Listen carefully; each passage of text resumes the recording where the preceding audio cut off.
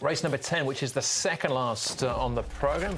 The 10th is the Good Fortune Handicap, Class 3 over the 1400 metres, headed by another Hong Kong debutant. This is Dragon Commander, a three-time winner in Italy. Magic Legend takes the drop back into Class 3 where he's unbeaten in two starts. Splendid Timing makes his Hong Kong debut, a two-time winner Australia. Fearless Fire, third last start behind Bank on Red. Roundabouts, a two-time course and distance uh, winner.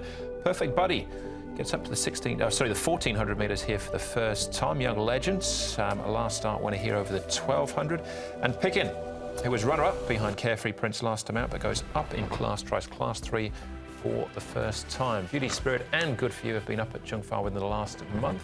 Good For You most recently returning on the 28th. Right, the speed of this race, well, Magic Legend and Lucky Dollar probably potentially could vie for the early supremacy here. Young Legend, the racing club horse, potentially gets caught out wide. Does he offset that by rolling forward or try and slot in? I tend to think they'll go forward. Uh, from the 1400 metres is a bit further before that first bend comes up. They've got to roll the dice, I, I tend to think. Um, Pickin gets a lovely run, you would imagine, from three, stepping up in grade. Yeah, come up short, Pickin winning. Here's Dragon Commander. He comes off a awkward little rating here of 80. He's got 133 pounds. He does have the apprentice claim, though. 1,074 is what he weighs. He's had four trials to prepare him.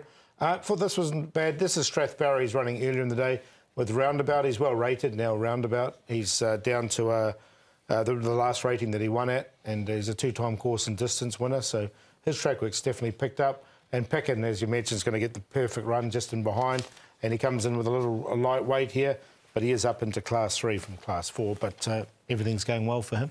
All right, we'll come back and uh, have a look at that run again in a moment or so. Let's uh, start off, though, with Beauty Spirits. Um, wide into the straight here from barrier nine. He gets the inside gate this time. Yeah, this is a good run. He he did hang out a little bit in the stretch. I think ultimately he might even want a bit further, this horse. You can see he doesn't really do anything quickly. He just sort of finds that one speed and there's a little bit of um, a build there just now and coming into the last 150. So that for me suggests that he wants a little bit further, but I will put him in the tips. He's had six starts now. He still looks a little bit green, doesn't he? He's just yeah. sort of hung a little bit. So, yeah. yeah, I didn't find a spot for him in the end, but uh, look, he, it wasn't a bad run, that last one. All right. Young Legend, a, uh, a last start winner. This is over the 1,200 metres, though, so he gets up uh, to the 1,400 metres for the first time, but he's got barrier 14 to go with it.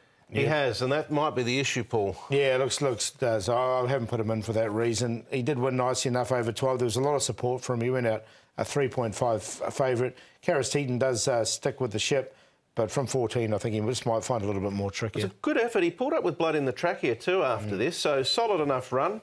Um, I like the way he's going. I'm going to take a little chance that Karis can offset the gate 14. We saw the speed map. There's not a lot of pace underneath him. I think they will go forward and try and get a spot in behind.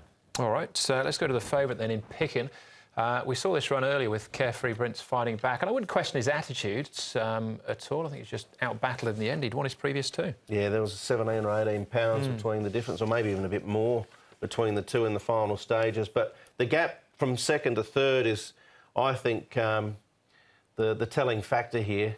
Uh, this is a, a typical John Size horse, isn't it, that sort of gets going, has three, four, five starts, six, now seven, gets the job done, goes up into three, draws well, lightweight.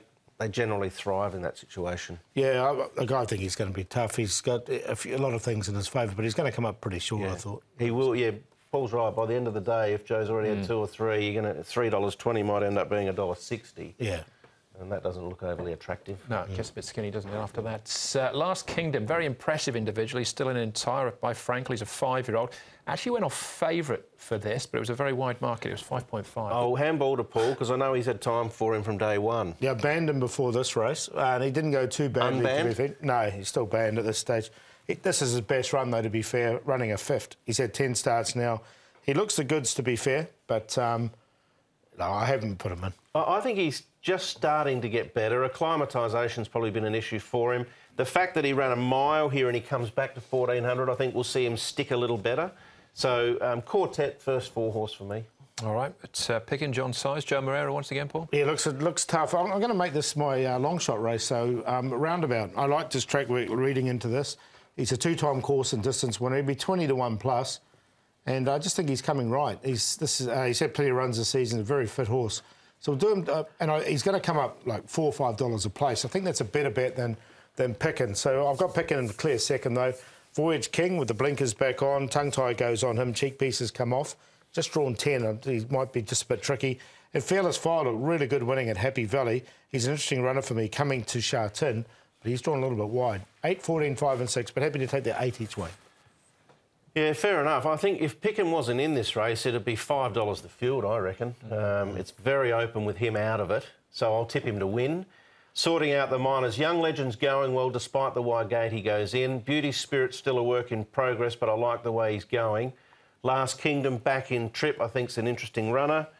Um, you can see there with my trio, I've got Magic Legend in as well, gets a drop in grade. I've got a bit of time for Perfect Buddy too, who I know you're going to sneak into Yeah. your four, Andrew. So I think the banker's solid.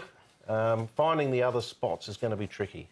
Yeah, no, I think, um, you know, as Paul's identified, it's a good race probably for a long shot. Yeah. It's an each way Yeah. sort of race for me, but picking uh, on form the one to beat in race 10.